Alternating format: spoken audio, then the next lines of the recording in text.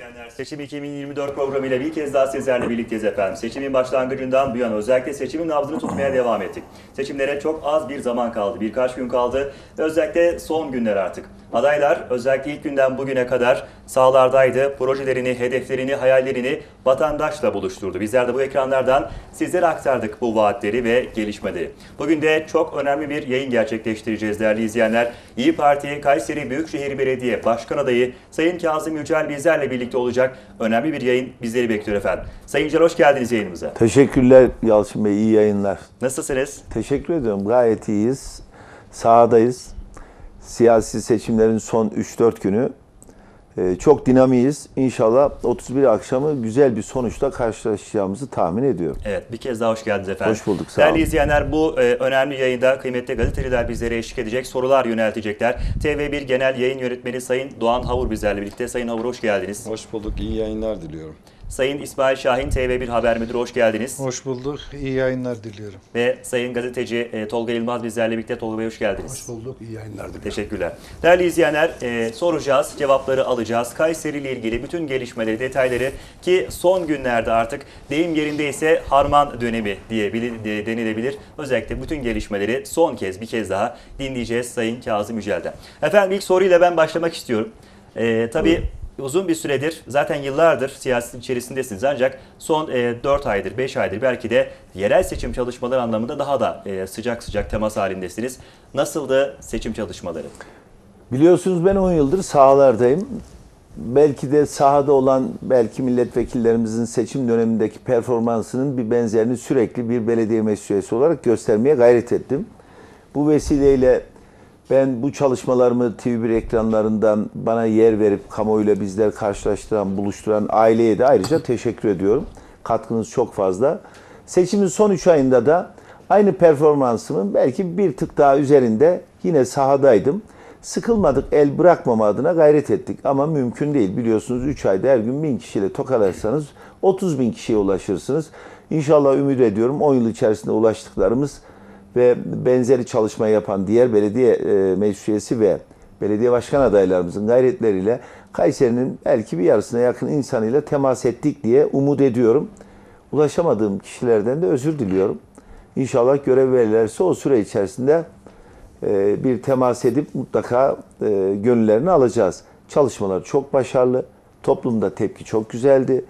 Adalet Kalkınma Partisi'ne kızgınlık tavan yapmıştı. Bu çok hoşa giden de bir durum değildi.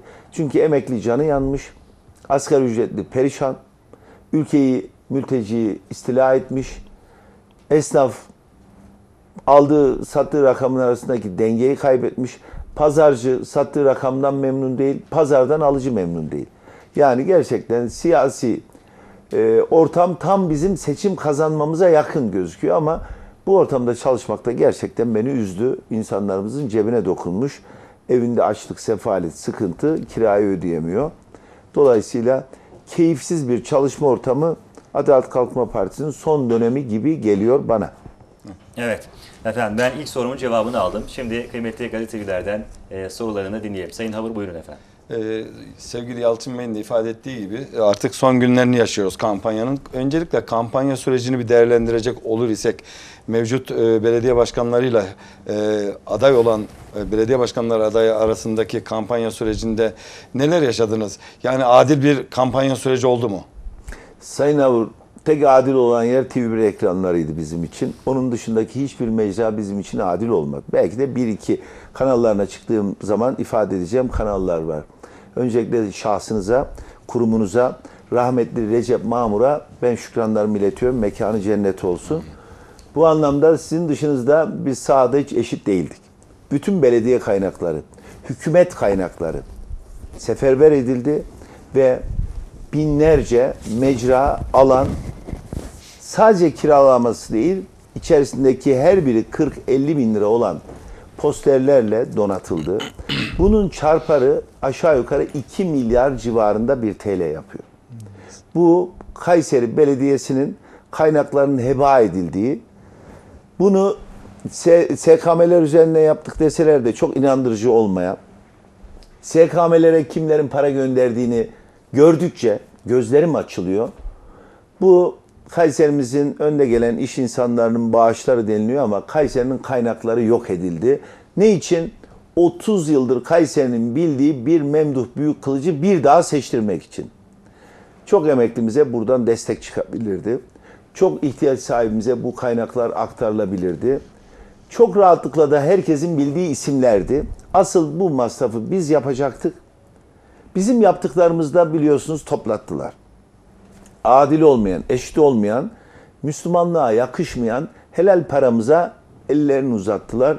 Onun için biz buradaki tabloyu 31 Mart'a vatandaşımıza havale ettik. Hakkımızı da helal etmedik. Ben çok çağrı yaptım Sayın Memduh Büyükkılıç'a. Hakkımı helal etmiyorum. Çünkü benim sana ödediğim vergiyle Ayşe teyzenin, Doğan Bey'in emlak vergisiyle siz seçime gittiniz.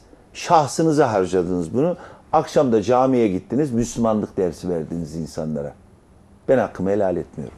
Bu tramvayların üzerinde e, reklamlar olsun, e, tramvay direkleri olsun.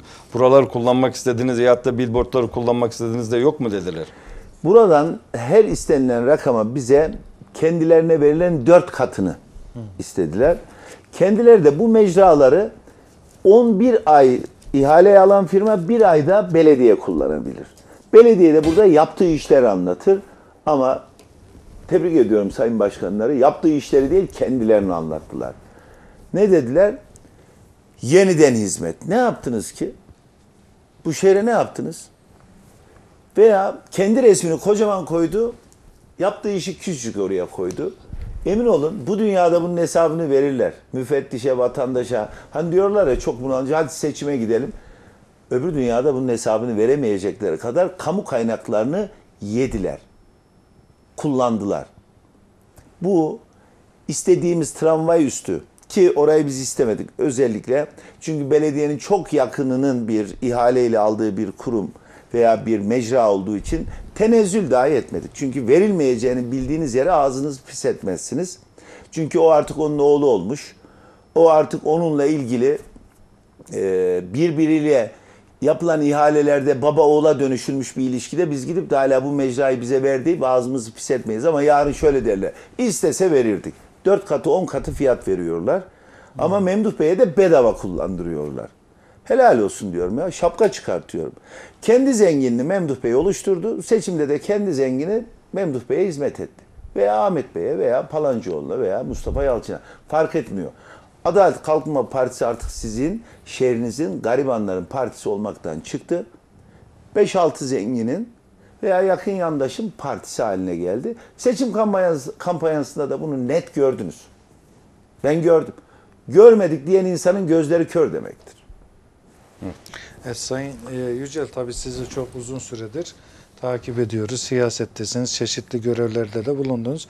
E, özellikle Büyükşehir Belediye Meclislerinde zaman zaman çeşitli konuları gündeme getirdiniz. Hatta gale alınmadınız. Öyle bir şey oldu.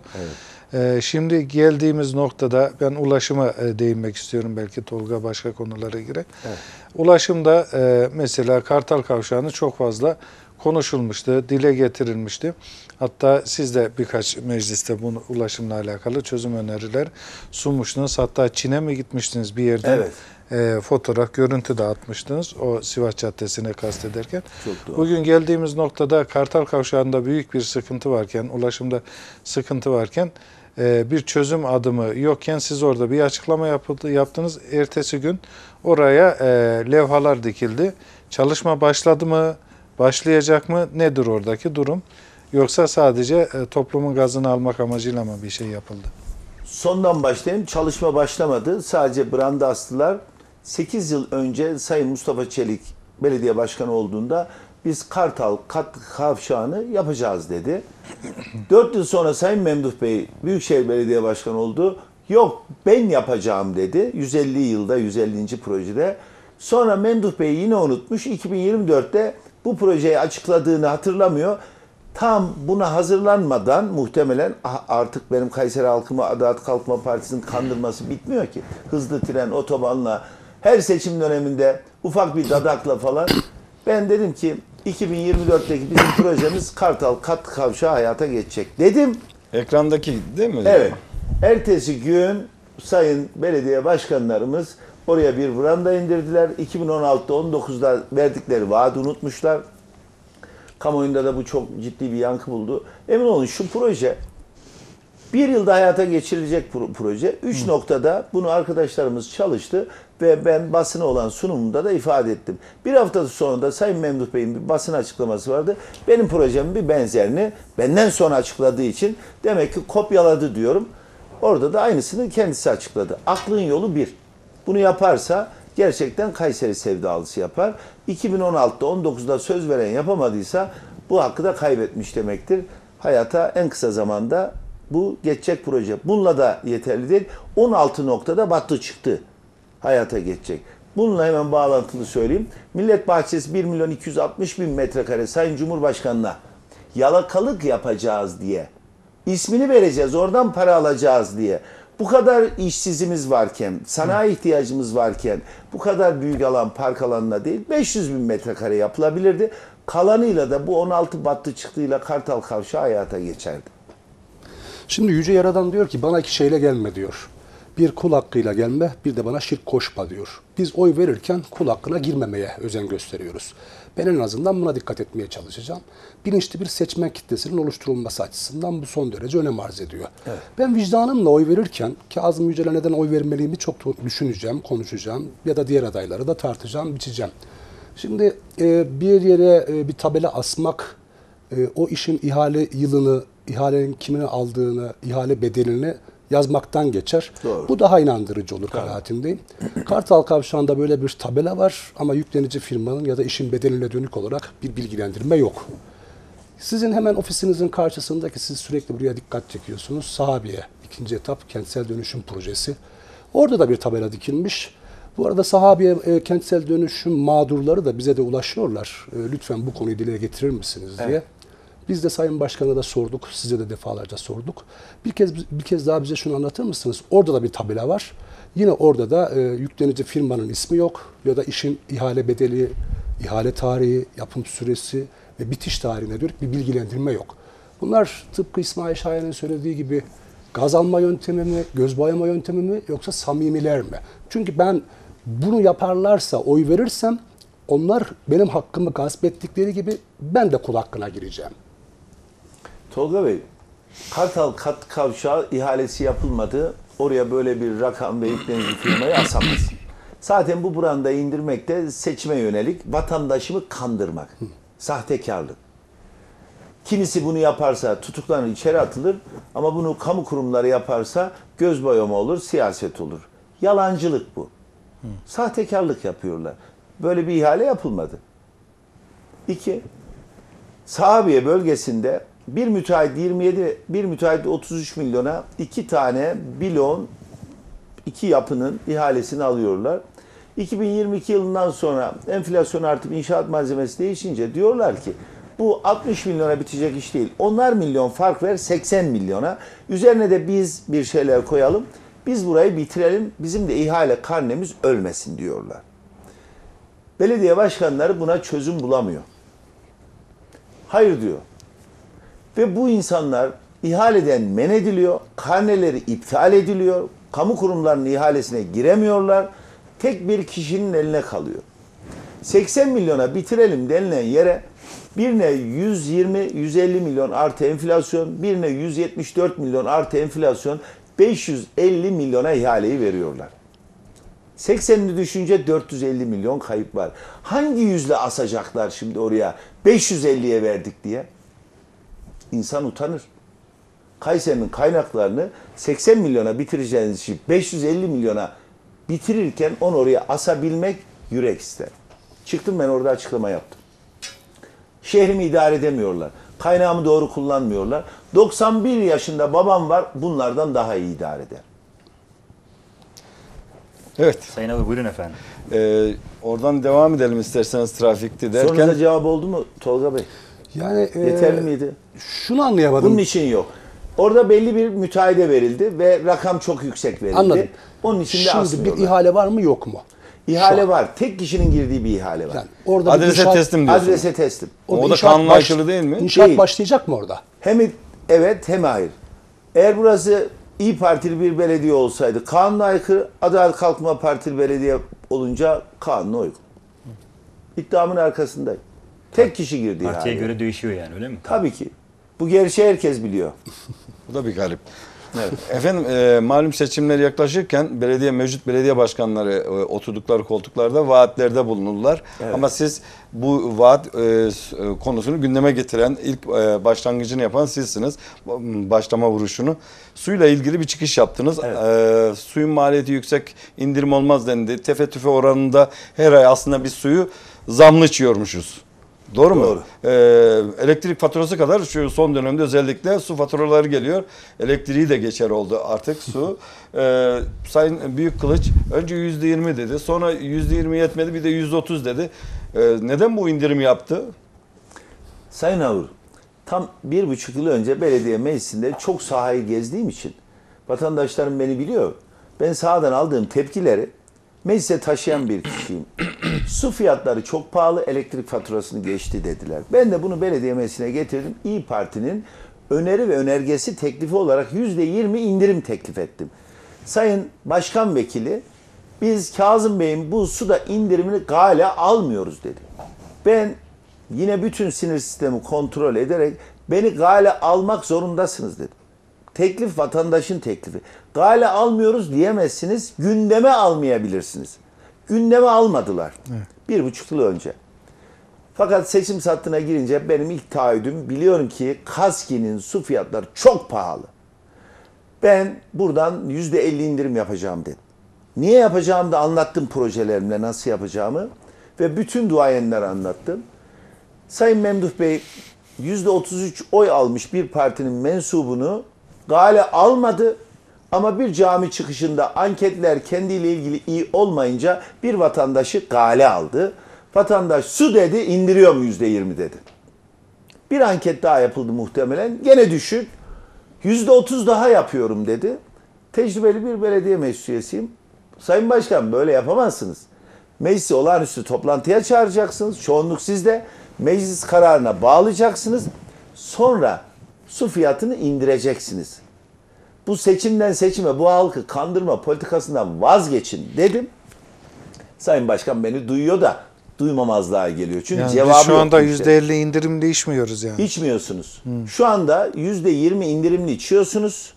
O meclisten geçti. %30 Yüzde yok otuz maalesef hala hayatta değil. Siz Kayserilisiniz herhalde. Yani biz ayıkmıyoruz yani. Evet, siz Kayserilisiniz. Kayseriler her seçimde böyle kandırılır Sayın İsmail Bey. Hızlı trenle, tramvayla, su fiyatlarıyla ama maalesef e, Toplu ulaşımdaki eme- öğretmen karta yapılan indirim de o zaman e, O da meşru geçerli değil. O da meşru değil Tabii o zaman. o da meşru değil. Bakın Doğan Bey'in sorusunu ben sonuçlandırayım. Demek ki yüzde yirmi artı 30 indirilebiliyormuş. Sayın Memduh Bey, şimdi soruyorum 5 yıldır. Demek ki pahalı aldığınızı, suyu yüksek sattığınızı kabul ettiniz. Buradan bu çıkıyor değil mi? O zaman her ay ortalama 500 TL su parası ödeyen bugün fiyatlarıyla bir yılda 6 bin, 5 yılda 30 bin lira. Yani yarısını fazla mı aldım diyorsunuz? Öyle. 15 bin lirayı iade edin. Bu vatandaşın 15 bin lirasını iade edin. Bak ben size söz veriyorum. İlk defa duyacağınız bir şey söylüyorum. Belediye Meclisi'nin ilk KASKİ Genel Kurul toplantısında vatandaştan fazla alınan bu parayı ödemeyi ben meclise sunacağım. Her vatandaşıma madem Memduh Bey fazla almış kabul etti. 20 artı 30 indirdiğine göre ben size dedi pahalı su sattım dedi. İlk KASKİ Genel Kurulumda ben bunu gündeme aldıracağım. Bu vatandaşlarımın 15 bin lira mı? Ya iadesini ya da ondan sonra kullandığı sudan ücretsizliğe dönüştüreceğim. Zaten %50 de devam edecek. Yani o zaman biz yüzde otuz hala zamlı içiyoruz. Tabii şu anda da zam düşüyorsunuz. Yani vatandaş da uyutuluyor. Vatandaşımız hep iyi niyetli. Kayseri halkı gerçekten halisane. Onun ampul dediği partisine laf etme de canını ciğerini al. Onun yöneticisi sizi istediği kadar kandırabilir. Hangi bakan, hangi cumhurbaşkanı, hangi başbakan tramvay, hızlı tren buraya gelecek, otoban demedi. Benim vatandaşıma oy verdi. Şimdi vatandaş bugün uyandı. Artık Memduh Bey'e inanmıyorlar. Ve biz de açık çağrı yapıyoruz. 30 indirimli ise su faturalarında göstersinler. Dün gelen vatandaş diyor ki başkanım 20 bin küsür lira ödüyorum diyor. Hala ödüyor orada.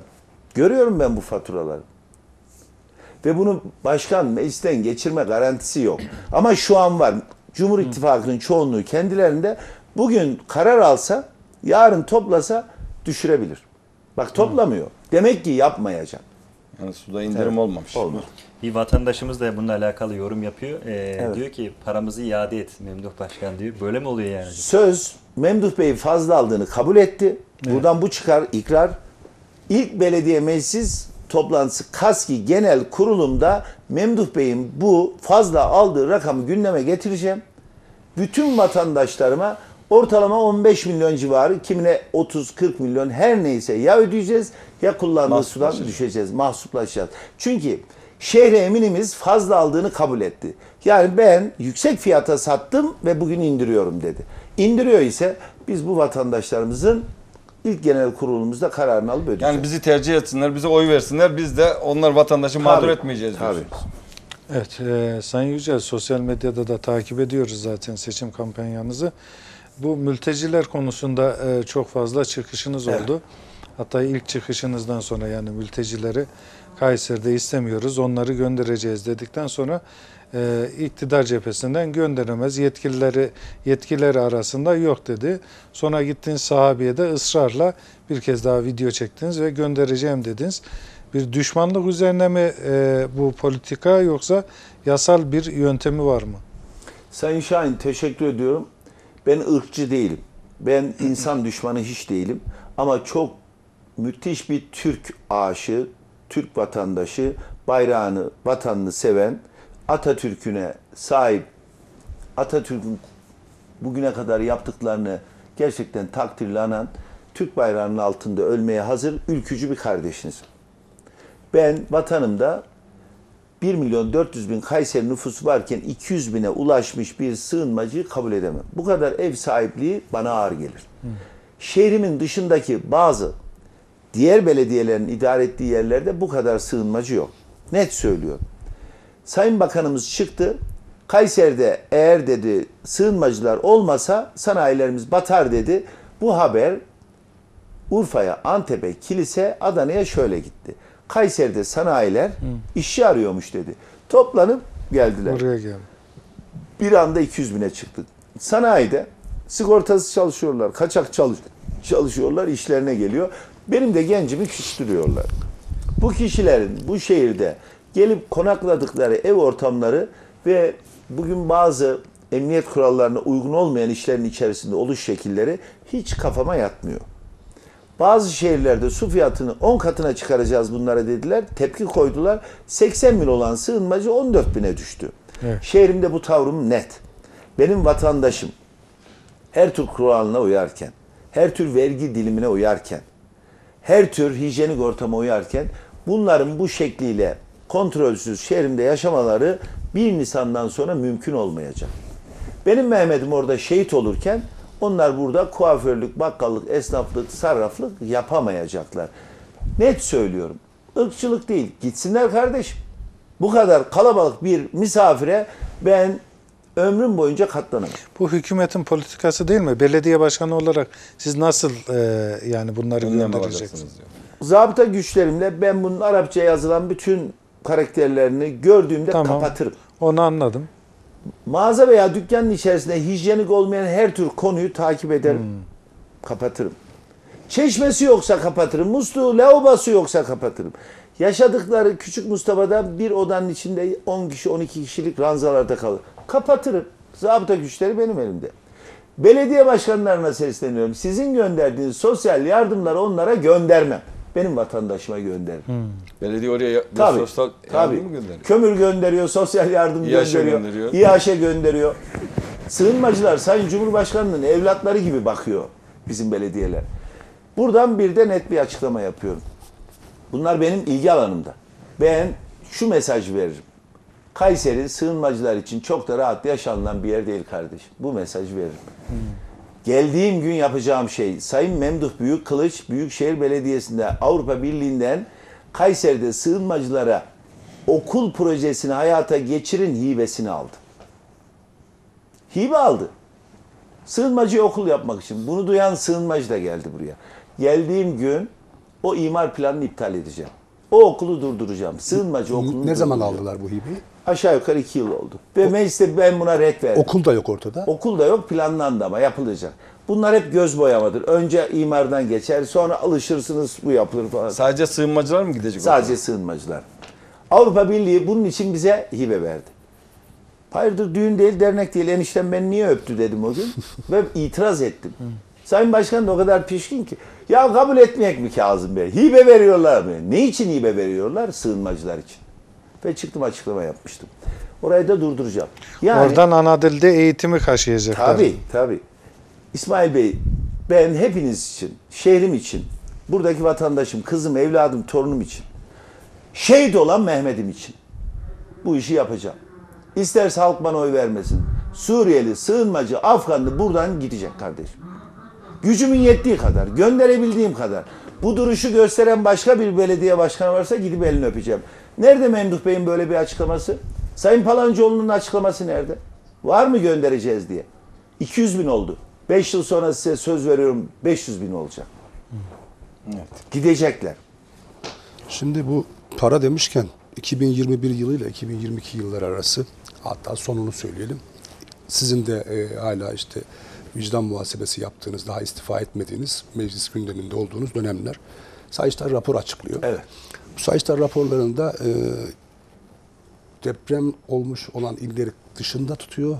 23 Büyükşehir Belediyesi arasında ne kadar borç var diye bir araştırma yapıyorlar. Yapılan araştırmalarda Mardin Büyükşehir Belediyesi kayyumla yönetiliyor birinci sırada. Van Büyükşehir Belediyesi kayyumla yönetiliyor ikinci sırada.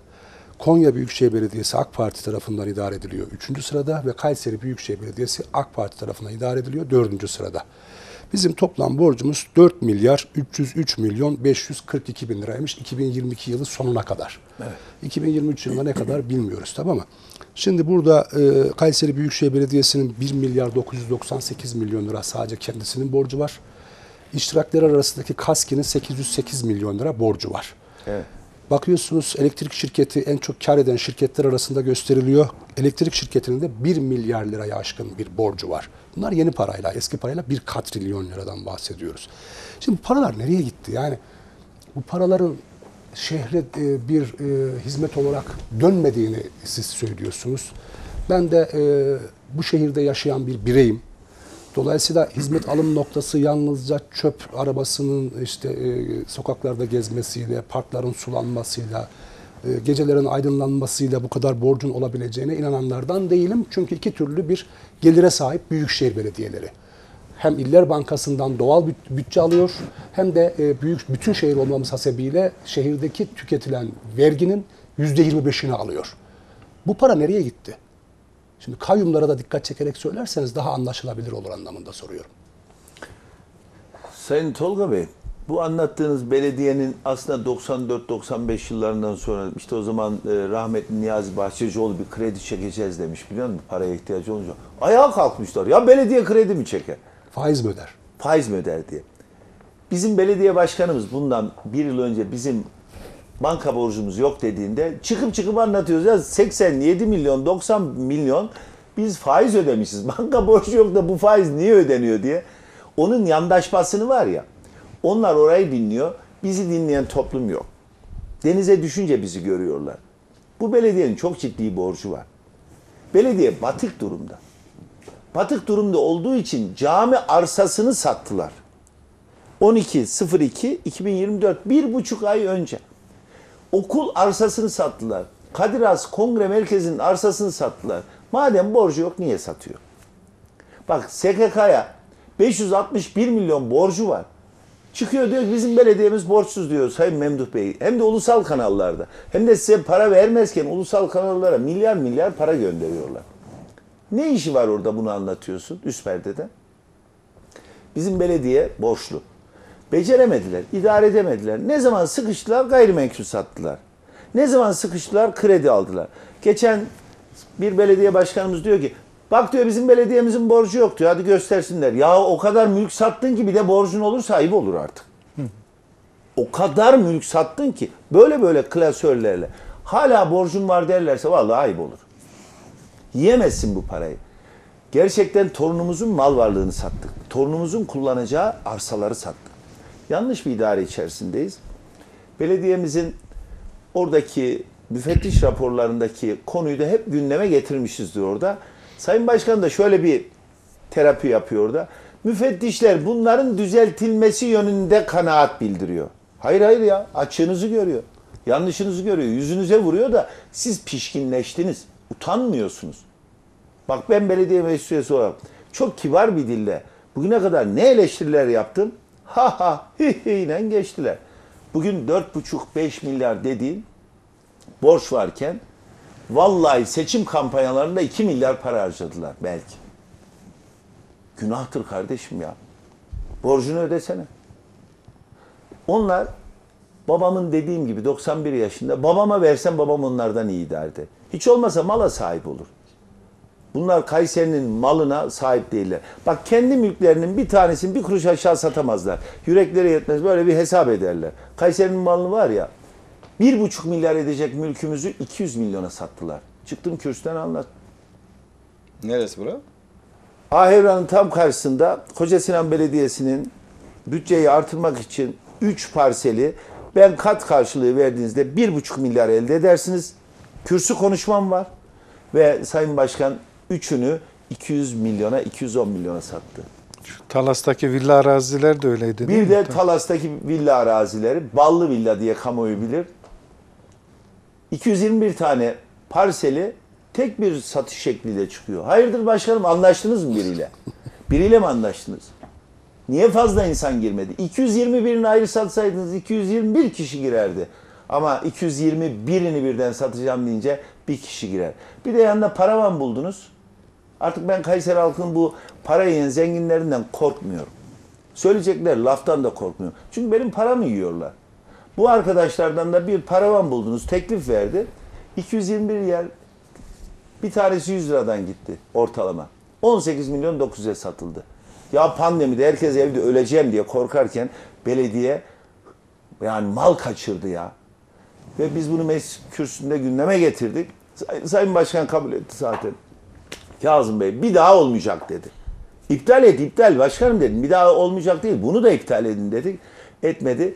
İki yıl sonra Doğan Bey tanesini 4 milyondan 221'i 840 milyona. Vay be. Tanesi 4 milyon. Tabii tabii. Tanesi 4. İnternete girip Evet. Ballı Villa veya Reşadiye villalar dediğinizde göreceksiniz. Oraya hizmet Emlak götürmeyeceklerini ifade etmişlerdi. Asfalt da dökerler. Her türlü hizmeti yaparlar. Bunlar artık garibin, gurabanın belediye başkanları değil. Onlara maraba gibi bakıyorlar. Onlara sadaka veriyorlar. Zenginlerle iş yapıyorlar. Bu gerçeği anlatıyorum. Bak Sabiye'deki Yani ihale- gönül belediyeciliğini bıraktılar Yok. mı? Tabii Doğan Bey. Lafta bu gönül belediyeciliği. Bizim belediye başkanlarımız hangi garibin sufrasında oturdu, hangi garibin düğününe gitti? Zenginin düğününde, zenginin cenazesinden başka nereye gittiler? Gönül belediyeciliği diye bir şey yok. Seçim propagandası bunlar. Bak 880 milyon liraya giden o yerdeki kaybımız tam 800 milyon TL. Ben şehrimin emeklisine 5 yıl sürekli kira desteği verebilirim. Ama bunlar onu düşünmüyorlar. Onu da vermek isterlerse suda indirim gibi. Bak matematiği de bilmiyorlar. 5 yıl indirmemişler suyu. Seçime gelmişler 20. Olmadı 30'da. Allah Allah. İniyordu. Niye inme, indirmedin Sayın Başkanım ya? Bunun gibi çok ciddi hatalarla bizi buluşturdular. Emin ol buna rağmen de belediyenin borcu var. Buna rağmen de borcu var. Bu mülkleri yanlış satmalarından dolayı. Ama ben 31'indeki hemşerimin sağduyusuna inanıyorum. Atatürkçü, cumhuriyetçi, milliyetçi, ülkücü, muhafazakar, Müslüman. Yani siyasetin biraz dışına çıkmış, şehrine inanan, kamu kurumunun bir kuruşuna göz dikmeyen, seçim kampanyası için ikballerini, bütün kamu kaynaklarını kullanmayan, gerçekten bir aday üzerinde hemfikir olup seçseler vallahi 5 yıl içerisinde bu şehrin sorunlarının birçoğu kalkar. En büyük problemimiz ne biliyor musunuz? Adalet Kalkınma Partisi'nin belediye başkanları. En büyük sorunumuz bu. Seçmenin de hiçbir sıkıntı yok. Seçmen inanmış. Sayın Cumhurbaşkanı gibi bir lidere inanmış. Ama vallahi belediye başkanları bu işi bilmiyorlar. Beraber çalıştım ben. Biraz önce bahsettiklerimi yıllardır söylüyorum. Hangisine bir açıklama geldi? Bunlara da gelmeyecek. Sizin işlettiğiniz TV yayınını Emin olun verin onlara iki yılda batırırlar. Krediye boğarlar. Evet. Ee, Sayın Başkan tabii e, şu şekilde sosyal medya üzerinden de oldukça mesajlar geliyor şu anda yayınımıza. Zira ben bazı mesajları özellikle derledim. En önemlilerini özellikle size ifade etmek istiyorum. Aynı zamanda vatandaşların e, mesajlarını da sorularını da size aktarmak adına. Bir soru e, Tom Arıza ile ilgili. Tom Arza'dan bir vatandaş yazmış. E, demiş ki Sayın Büyükkılıç dün Tom Arza'da bize dedi ki e, bize oy vermezseniz buraya nasıl hizmet bekleyeceksiniz? Vatandaşı tehdit etmiş. Bu konuda ne düşünüyorsunuz diye Ben soruyor. Kazım Yücel olarak bu hemşerime, Tomarze'ye bütün ilçelerime hiçbirisi babalarının malı değil. Hiçbirisi devlet kaynağı değil. Hepsini biz oluşturuyoruz bütçenin.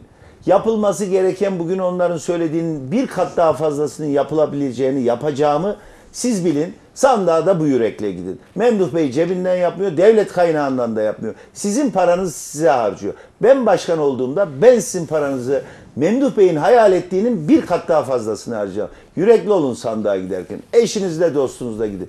Bu yükten kurtulun. Bu lafı söyleyen dersini verin. Bu kadar.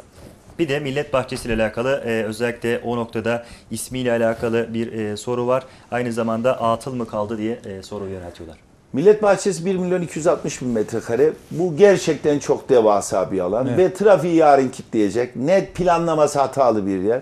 Bari yapıyorsunuz 500 bin metrekarelik bir alanda yapın. Bir ucundan bir ucuna arabayla gitmeniz gereken Millet Bahçesi oldu. Aa başkanım çok güzel oldu. Bu kadar işsiz gencimiz ne oldu? Bu kadar burs bekleyen öğrencimiz ne oldu? Tekli eğitime geçecek eğitimimiz ne oldu? Niye caminin arsasını satıyorsun? Sayın Başkanım üstünde arazi varken niye okulumuzun arazisini satıyorsun? Hayırseverin malına göz diktiniz. Bunlara gerek kalmadan orayı yarı masrafla, yarı büyüklükte yapabilirdiniz ve trafiği kaldırabilirdi ve onun önüne yapılacak bir cami var. Şu anda boyunu da göstermiyorlar. 20 bin kişilik, 30 bin kişilik deniliyor da duruyor ama o köşede öyle büyük bir devasa camiye ihtiyaç yok.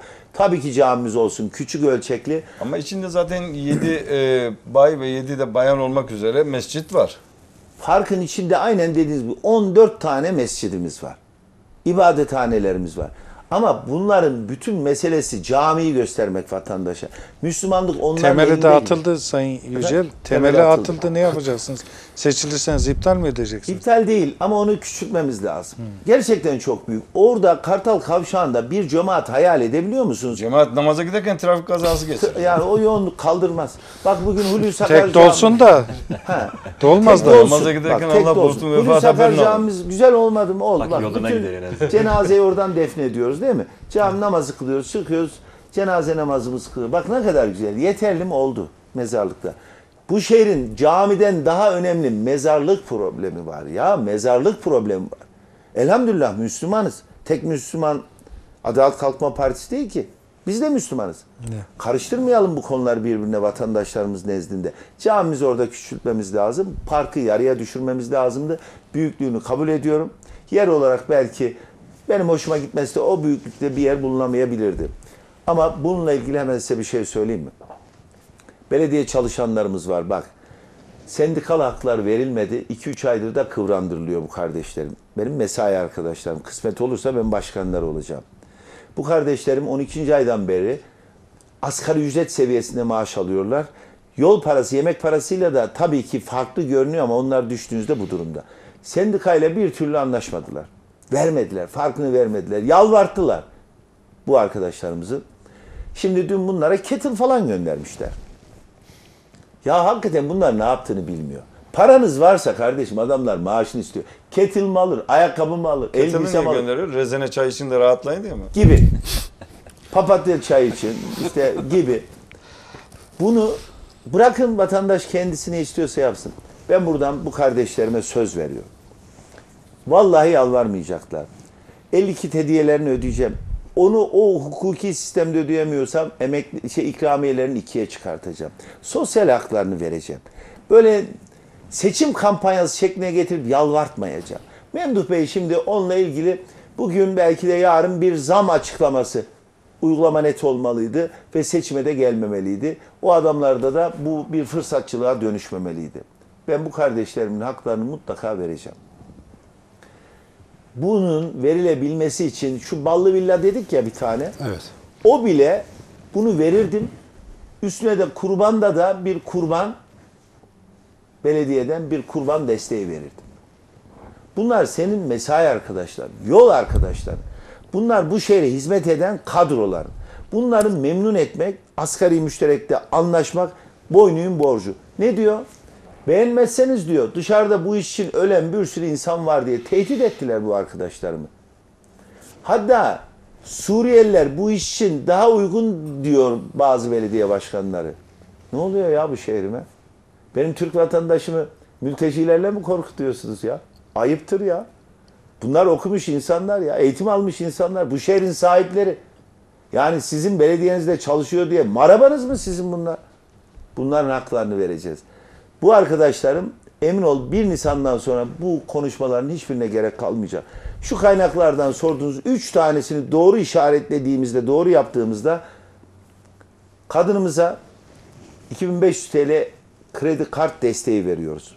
Destek kart veriyoruz. Emeklimizin 3-4 noktada açtığımız tesislerinde çocuklarının düğün yapmasına emekli ve asgari ücretlimizin ve işsizimizin müsaade ediyoruz. Ücret almıyoruz. Alalım mı Tolga Bey? Almayın tabii. Almayalım ya. Bomboş duruyor salon orada ya. Bırak kullansın kardeşim bu adam. Hani gönül belediyeciliğiydi Doğan Bey? Niye yapmıyorsunuz? Kuşçu'da, Marina'da bir tesisimiz var ya. Vallahi iki yıldır bomboş duruyor. Kullanılsa eskir miydi bina? Ne olurdu? Bunları kullandıracağız. Gönül belediyeciliğini gerçekten yapamadılar.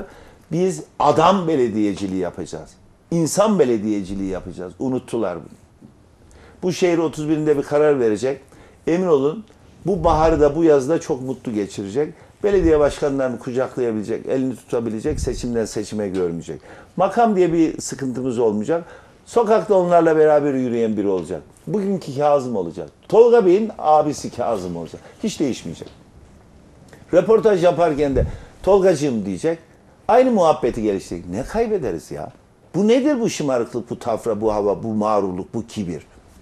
Gittiğim basın mensubuna soracağı soruyu söylemek nedir ya? Bunlar bitecek. Basın özgür olacak. Bak bugün seçim sattığına girdik. Basının %99'u arkadaşım benim. Birçoğu yer vermiyor. Hepsinin bir bedeli vardı. Aldı belediyeden. Hepsi sustu. Benim belediye başkanlığımda her tür desteği alacak diyelim. Ama istediğinde eleştirecek. İlk başta da beni eleştirecek. Sizin haberlerinizi yayınlamıyor mu basın? Tabii tabii. Şu anda yalvarmıyorum, rica etmiyorum, söylemiyorum da. Buradan selam olsun bütün basın mensubu arkadaşlarıma. Biliyorum girdikleri kıstası. Yapacaklar da bir şey yok. Zorda da bırakmıyorum. Vermezse vermesin. Sosyal medyamdan sponsorlu çıkıyorum, duyuruyorum.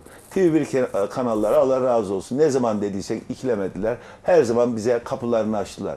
Mekanı cennet olsun Re- Recep abim. Evet. Efendim son soruları alalım o, o zaman. Çünkü programımızda yavaş yavaş sonuna geliyoruz. Buyurun Sayın Alın. E, hayat pahalılığı gerçekten çok ciddi anlamda e, Türkiye'nin gündeminde. Dolayısıyla emeklilere yönelik siz de dediniz ki destekleriniz olacağını, e, özellikle çalışan, e, asgari ücretle çalışan aileler için ücretsiz kreşler e, sanıyorum bunlar da olacak. Onlardan da bahsederseniz bir de kırsalla ilgili neler e, söyleyeceksiniz, ne gibi planlarınız var? E, son dönemlerde bakıyorum sosyal medyanızda he de gitsin e, sözünü çok fazla kullanıyorsunuz. Benimki böyle olsun sorularım değerli başkanım. Sayın Avur, biz belediye başkanıyız. Biz maaş veremeyiz bir emekliye, bir vatandaşa. Değil mi? Böyle bir devlet yönümüz yok. Ama, Ama, Ankara'da, İstanbul'da bakıyorum AK Parti'nin e, belediye başkan adayları işte kira desteği adı Doğru. altında e, kampanya ama- yapıyorlar. Aynen onu söyleyecektim. Ama destek olabiliriz. Harcamalarını daha makul seviyeye düşürebiliriz. Mesela ulaşımda. Ben sabah saatleriyle 7.30 arasında şehrimde ulaşımı ücretsiz yapacağım. Herkes ya bunlar yapamadı sen nasıl yapacaksın? Bak bunların artık beyin öldü. Beyinler ölü. Çalışmıyor. Ben o tramvayın üstündeki ve otobüslerin üzerindeki ve tramvay hattındaki reklam panolarıyla 100 milyon TL ben ihalden bir gelir elde ediyorum ve ulaşım AŞ'm 300-400 milyon civarında bir gideri var. 100 milyonu yani dörtte birini karşılıyorum. 18 saat çalışıyor. 6 saat yatıyor tramvaylar. Dörtte biri ne yapar? 4,5 saat. Sabah saatiyle 5'te başlayınca 9.30'a kadar bile ücretsiz yapabilirim ama 7.30'a kadar asgari ücretli gelir seviyesi düşük olan öğrencimin cebinden para çıkmasının önüne geçmem lazım. Bunu da yakınıma, ya- yandaşıma bu ihaleyi vermemem lazım. Kamuoyuna açık, tek tek. Vagonları tek tek. Direkleri tek tek ihale edeceğim. Belki birini TV1 alır. Belki birini Tolga Yılmaz alır. İsmail Şahin alır. Tek tek. Herkes alabilir. Toplu verdiğinde almıyor işte. Girmiyor ihaleye. Bunun mantığı burada yatıyor. Bu şehirde biz öncelikle bu tür hizmetler yapacağız. Buradan elde ettiğimiz diğer kooperatiflerimizden ablalarımıza eşini kaybetmiş iki çocuğu var mağdur ortada kalmış onlara destek kart vereceğiz. 2500 TL şu elle vereceğiz belediyede bir kişi ama şu el görmeyecek bilmeyecek. Müslümanlık böyledir. Adalet Kalkınma Partisi'nin yaptığı Müslümanlık çayı kafasına atıyor. Şekeri omuzuna atıyor. Adamın cebine 200 lira veriyor. Gösteriyor. Resimliyorlar. Evine götürdüğü çorbayı resimliyorlar. Vallahi Müslüman değiller ya. Dinimiz bunu emretmiyor Doğan Bey. Sadaka veriyorlar, bizim araba görüyorlar. Biz desteği böyle yapacağız. Ne zaman da bir işe girdi bu ablamız? Tık kesilecek. SSK'sı, TCS elimizde değil mi? Görüyoruz. Bunun gibi kimseyi muhtaç etmeyeceğiz. Çocuklarımıza burs vereceğiz. Üniversiteyi kazanmış. Aile para harcayacak. Vallahi bunu üstlenelim. Yeter ki asgari ücretle emekli olsun. Üstlenelim. İstanbul yapıyor, Ankara yapıyor. Ben de yapacağım. Bunda bir sıkıntı yok ki. Gururla yapacağım. O çocukları okutacağım. Şehrimde üniversite kazandıysa çocuk, ulaşım ona ücretsiz yapacağım. 40 kez yemek yeme ücretini sosyal tesislerimde ücretsiz yapacağım. Niye? Şehrimi tercih etti. Babasına yükü olmadı başka şehre gidip yurt sorunu, barınma sorunu çözeceğim. Yalvartmayacağım. İki tane bloğu yapamamak bu belediyeler için ayıp. Cemaatlerin eline attılar çocukları. Sonra da bunlar FETÖ'cü dediler. Siz attınız kardeşim bunlar bunların kucağına. Siz yetiştirdiniz bunları. Bu sorunu da çözeceğim. Tarım ve hayvancılık. Olmazsa olmam 1985 yılında kendi kendine yeten bir Kayseri. Bugün çok zenginsiniz, paranız var. Ama bir bakkal yok. Tarladasınız. Buyurun o parayla ne yiyebilirsiniz? Para yenir mi? Önce ek- ekip dikecek insanlar tarladan bir hasat alacaksınız. O paranız anlam ifade etsin. Bu 1 lira belki siz daha zenginsiniz ama o olmadan sizin o 1 milyarınızın hiçbir hükmü yok. Hayvancılığı bitirdiler. Tarım bitirdiler. Savaş olan Ukrayna'dan biz buğday alır olduk. Utanmıyor musunuz? Aynı toprak değil mi? Aynı gübre değil mi? Aynı insan değil mi? Bu tembelliği niye yaptınız? Boş tarlaya para verdiniz vatandaşa oyunu aldınız. Traktör al dediniz, para verdiniz, oy- oyunu aldınız. Tembel. Biz üretime geçeceğiz. Köyüne geri dönecek. Her bu hayvancılıkla uğraşan kişiye 100 koyun 5 koç vereceğiz. Büyükbaşsa 20 büyükbaş vereceğiz. Bu kadar zengin miyim? O ballı villayla yapardım ben bunu. O ihaleyle yapardım. O 3 tane parseli 1,5 milyara satmakla yapardım ben bunu. Bunlar devasa milyarlık paralardan bahsediyorum. Bunu hayvancılıkta, tarımda gübre, tohum desteğini mutlaka vereceğiz. Taban alım fiyatı koyacağız. Niye fındığın taban alım fiyatı var Tolga Bey? Desteklemek amaçlı. Trabzon, ya Karadeniz lobisi var. Evet. Bunlar istiyor, hükümet de o için veriyor. veriyor. Fındığın ne ehemmiyeti var? Domatesten ne fark var? Patatesten ne fark var? Üretimden ne fark var Allah aşkına? Diğerleri daha temel gıda. Tabii. Sayın Şahin ben temel fiyat, taban fiyat vereceğim. Bunu topladığım anda satabilecek organizasyonda gençlerden kurduğum o satış mekanizması içerisinde sistem içerisinde paketleme satışla satarım. Ben pazarlamacıyım. Ben arsa satmayı çok iyi bilmem belediye başkanları gibi. Cami arsasını satmayı bilmem ama çok güzel ürettiğim ürünü satarım. Bu ürünlere taban fiyatı veririm, satarım. Ya da kullandırırım şehrimde. Ya da ondan alıcıya bak sen almıyorsan Kayseri Büyükşehir Belediyesi taban fiyatım benim 17 lira 18'i verdirtirim. Niye incire taban fiyat veriyor hükümet de benim buraya vermiyor? Ya bu Kayseri'yi düşünen kimse yok. Düşünmemişler. Kayseri kendi kendine yeter demişler. Üstümüzden de sürekli tüfek atmışlar. Tarıma da desteğimiz bu anlamda mutlaka olacak. Kırsala da 11 kırsal ilçemize hacılara ince suya giden otobüs ulaşım, büyükşehirin ulaşım sistemi mutlaka başlayacak. Bütün Bünyan'dır, Devel'dir, Yahyal'dır şehir içi otobüs işletmesi onlara da sefer olarak başlayacak. Köyden buraya, ilçeden buraya göç önleyeceğiz. Orada bir yaşam oluşturacağız. Hobi bahçesiyle ben turizm soracağım da hobi bahçesiyle alakalı da bir şeyiniz var mı Ka- katkı olsun diye? Hobi bahçesi Emekliler çok bekliyor çünkü. 1750 tane Kayseri'de hobi bahçesi var. Sayın Memduh Bey 1750 Çok özür diliyorum. Bugünlerde bir e, hobi bahçesinde e, mevcut e, oturanlarla ilgili bir e, tebligat gitmiş. E, Nisan Boşaltın bir, biri itibariyle de hobi bahçesinde ilgili yeniden kura çekilme gibi bir e, hazırlık olduğu ve şu an mevcut oturanlarda bir telaş, stres sardı. Artırır mısınız? Yani yaparsınız? geçmesini mi bekleniyor orada da? Tabii bu hep bunlar seçim hilesi. Ben hobi bahçesinde oturan hemşerilerim sakın bunlara kanmayın. Siz bilirsiniz. Oy sizin ama kanmayın. Hobi bahçesi 1750 tane elimizde var. Aşağı yukarı 5000'e yakında talep var. Yani 3250 tane hobi bahçesi yapacağız.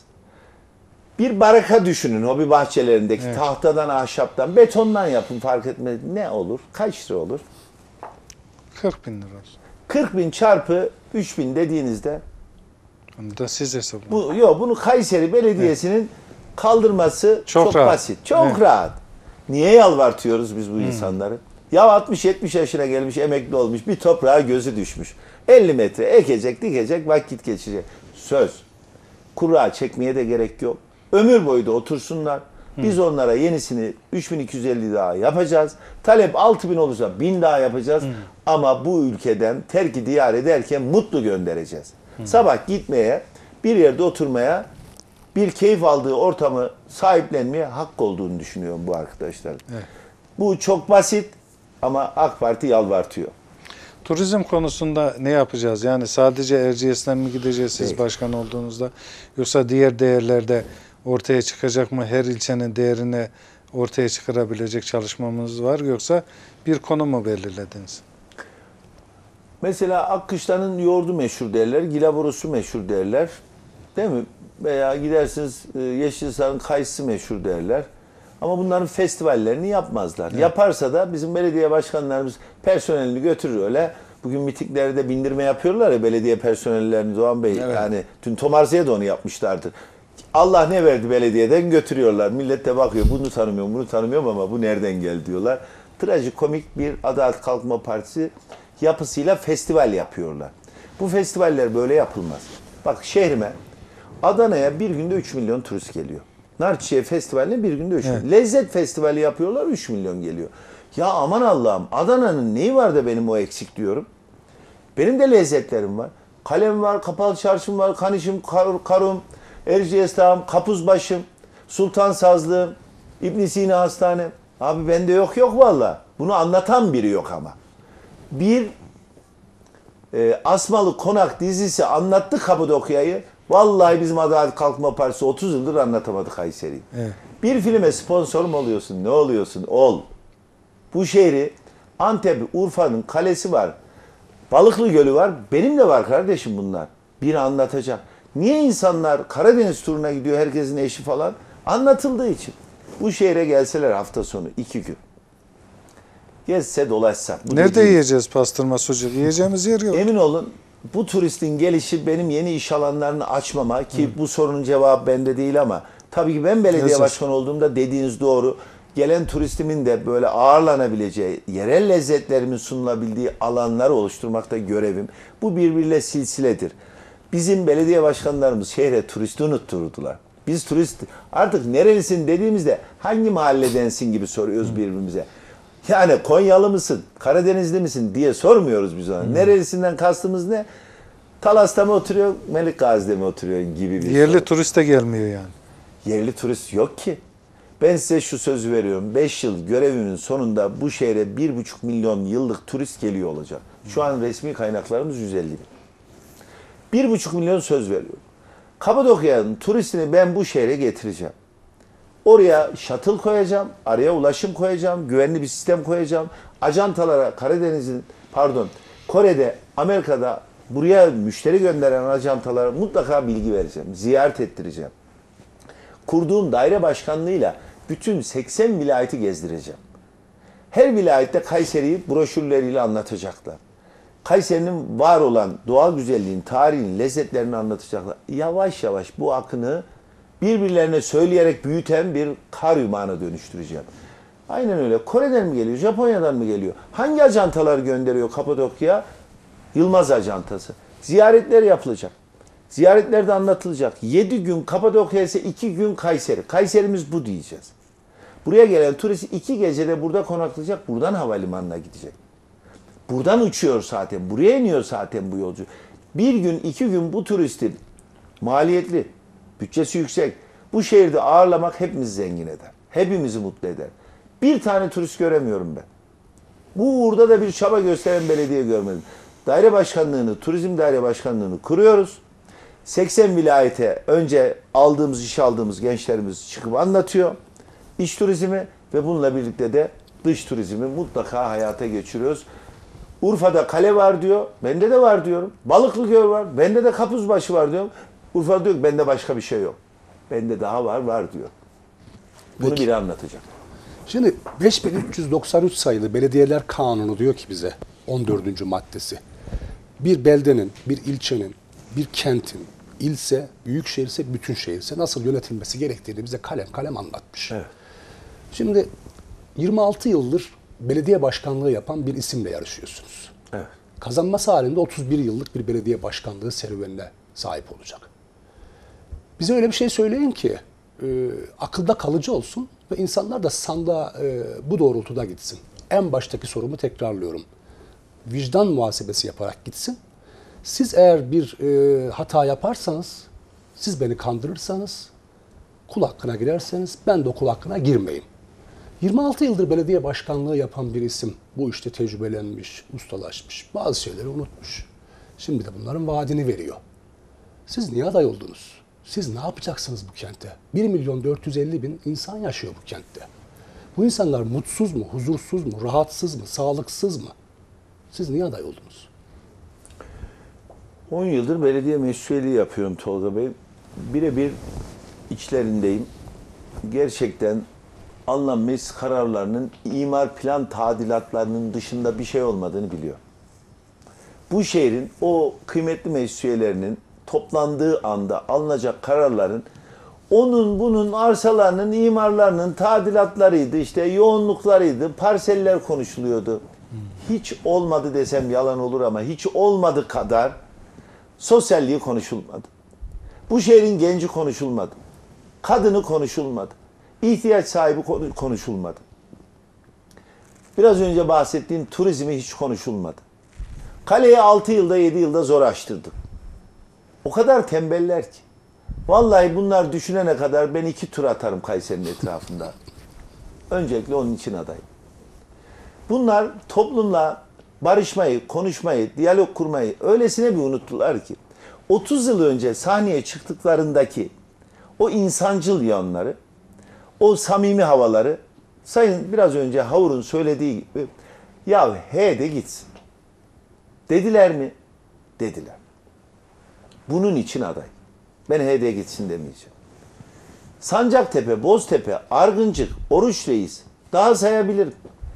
Şehrin tam göbeğinde bir Adalet Kalkınma Partili belediye başkanına değil ama sıradan bir belediye başkanına yakışmayacak bir kırsal alanda olmayacak yapılaşmaya 30 yıldır göz yumdukları için adayım. Burayı değiştireceğim. Bu şehrin bir eviniz var, odası birisi çok bakımsız ama sizin eviniz uygun mudur? Değildir. Burayı mutlaka o evin diğer odalarına, konseptine uygun hale getirmeniz lazım. Burada yaşayan insanlara yazık. Onların sesi olmak için aday. Bu şehirde çıkıyor belediye başkanı huzur şehri diyor. Yalan söylüyor. Çünkü her gün cinayet, katliam, kavga, gürültü, hırsızlık, problem olduğunu herkes biliyor. Sayın Belediye Başkanı bunun farkında değil. Onu uyarmak için adayım. Kendisi artık bu gerçeği görsün diye. Çünkü onun yaşadığı sırça köşklerde mülteci yok, kavga eden yok, problem yok. Zannediyor ki şehir hep böyle. Biz onlara bu gerçeği hatırlatmak için adayız. Ve ben bu geminin içindeyim, bu şehirde yaşıyorum. Bura benim vatanım, bu toprak benim de hakkım. Ben onlardan çok daha iyi bu şehirdeki emekliye, kadına, öğrenciye, gence, muhtara dokunabilirim, ulaşabilirim. Hassasım. Onlar günde 8-10 saat yatıyorsa ben 5 saat uykuyla idare edebilirim. Şehrime daha fazla hizmet edebilirim. Ve 30 yılda onların bu gerçekleri görmediğini kendilerine 5 yıllık görev süremde göstermiş olabilme şansı için adayım. Ben bu şehrin abisi, kardeşi, evladı olmaya razıyım. Ulaşılan bir belediye başkanı olacağım. Öyle 3-5 zenginin. Hele bana akıl veren zenginler var ya bazıları. Aman Kazım, yaman Kazım, dikkatli ol Kazım. Onlara da haddini bildirmek için ben bu şehirde adayım. Çünkü onlar bizim paramızla hem zengin oldular hem bize akıl veriyorlar. Buna müsaade etmemek için. Garibin, gurabanın hakkını onlara yedirmemek için, yedirtmemek için, malıma sahip çıkmak için adayım. Evet efendim çok teşekkür ediyoruz Varsa ediyoruz. eklemek istediğiniz Çok son sağ olarak olun. Pusuladaki yerinizi de isterseniz söyleyin.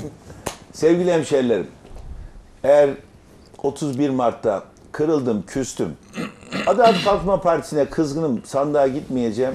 Emin olun o bizim kabahatimiz değil, onlara kızgınlığınız. Sandığa gelmeniz demokratik hakkınız. Katılımın ne kadar yüksek olursa demokrasiye öylesine yansıyan bir tablo olacaktır. Ben Kazım Yücel olarak Melik Gazi'de Sedat Kılıç Başkanımıza, Talas'ta Göker Göztok kardeşimize ve Koca Sinan'da Yurdaer Şahin, diğer kırsaldaki ilçelerimizdeki adaylarımıza oy talep ediyoruz. Geldiğinizde ikinci sırada İyi Parti'nin seçim e, ne diyelim mühür şeyi var. Değil mi? Pusuladaki Oy yeri. Pusuladaki yerimiz ikinci sıra. İkinci sıra. Oy pusulasında yerimiz ikinci sıra. Emin olun bu arkadaşlarımızın hepsine kefilim. Bu şehri 5 yılda bugün geldiği noktanın çok daha ilerisine götüreceğine eminim. Diyelim ki hata yaptık olmadı. Değiştirirsiniz. 30 yıldır bunların yapamadığını benim gibi söyleyen biri belki çıkmadı. Ama 30 yılda yaptıkları emin olun bizim 5 yılda yapacağımız konular göreceksiniz ulaşımdan yaşama, sosyallikten konuta, yatay yapılaşmadan gerçekten şehirdeki ticarete, turizme kadar dokunacağız. Onun için 31 Mart'ta inşallah bütün vatandaşlarımızı, Kayserili hemşehrilerimizi sandığa bekliyoruz. Oy pusulasındaki yerimiz ikinci sıra desteğiniz inşallah şehrin kaderini değiştirecek. Efendim ilk soruyu ben sordum. Son olarak da onu sorayım. Özellikle öz genç bir vatandaş olarak merak ettiğim için soruyorum. Çünkü gençlerin de soruları var. Gençler için kısa bir cevap bekliyorum. Ne vaat ediyorsunuz? Söz. Gençlerimle ilgili her 6 ayda bir bir meclis toplantısı yapacağım. Katılım ne olursa olsun. Kadiras Kongre Merkezi'nde 1600, 10.000, 3000, 5000 gelecek. Sabırla bekleyeceğim. Sabırla dinleyeceğim. Ne diyorlarsa gençlerimizin onu hayata geçirmek Büyükşehir Belediye Başkanı olarak görevim olacak. Gençler için sosyallik getiriyorum. Parklarda Wi-Fi hizmetleri getiriyorum. Ücretsiz kafeler veya kullanabilecekleri alanlar Konserler. konserler getiriyorum. Ama bu yeterli olmayabilir. Bunlar genç. Gelecekler. Ben başkanım oturacağım. Biter bitmez. 5 saat, 6 saat, 10 saat dinleyeceğim. Neyi talep ediyorlar makulse oylayacağız. Meclisten geleceğim onu geçireceğim. Hayata da uygulamayı da koyacağım. Onların talebine göre yön vereceğim. Öyle diyorsun. olması lazım. Çünkü bugün şunu yapacağız. 3 yıl sonra değişkenlik arz ediyor. Peki. Efendim çok teşekkür ediyoruz. Ağzınıza sağlık. Önemli Ben bir teşekkür program ediyorum. oldu. Çok sağ olun. TV1 ailesine Doğan Bey, İsmail Bey, Tolga Bey, e, Sayın teşekkür Yalçın ederiz. teşekkür ediyorum. Sağ olun. Evet kıymetli e, efendim gazetecilerimize ben çok teşekkür ediyorum. Değerli izleyenler Seçim 2024 programının burada sonuna geldik. Çok önemli bir yayını gerçekleştirdik. Zira İyi Parti e, Kayseri Büyükşehir Belediye Başkan Adayı Sayın Kazım Yücel bizlerle birlikteydi. Özellikle yapmak istediği e, ya da hangi konuyla alakalı eleştirileri var bunların detaylarını bizlere aktardı. Ve özellikle vaatlerini de sıraladı. Kıymetli gazetecilerimizin de efendim e, sorularıyla renk kattığı programımız sona erdi. Başka bir yayında görüşmek üzere. Hoşçakalın. Hoşça kalın.